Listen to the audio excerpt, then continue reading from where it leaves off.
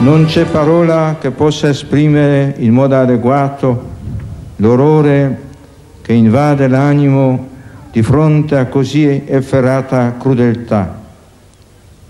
Un nuovo atto di spietata violenza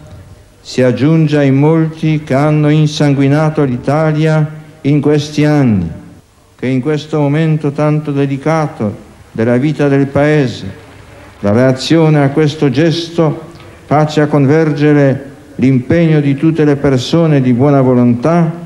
nella riaffermazione dei valori della giustizia, della pacifica convivenza, della solidarietà che costituiscono il patrimonio più vero del caro popolo italiano.